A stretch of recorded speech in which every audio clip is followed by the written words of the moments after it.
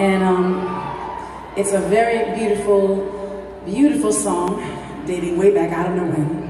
I definitely wasn't born yet, or was I? I don't know. But anyway, it's my rendition of Silent Night.